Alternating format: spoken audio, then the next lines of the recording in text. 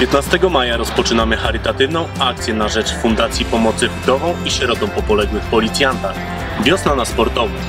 Jej celem jest propagowanie zdrowego trybu życia i aktywności fizycznej.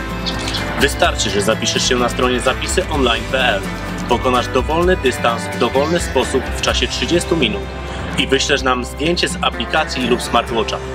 Dołącz do nas!